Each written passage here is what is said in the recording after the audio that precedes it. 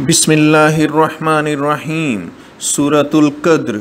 सूरतुल कद्र मक्की है और इसमें पाँच आयतें हैं। शुरू खुदा का नाम लेकर जो बड़ा मेहरबान, नहायत रहम वाला है।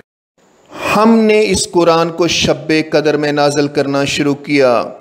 और तुम्हें क्या मालूम कि शब कदर क्या है? शब कदर हज़ार महीने से बेहतर है। उसमें रूहुल, अमीन और फरिश्ते हर काम के इंतज़ाम के लिए अपने परवरदिगार के हुक्म से उतरते हैं। ये रात तलुए सुबह तक अमान और सलामती है।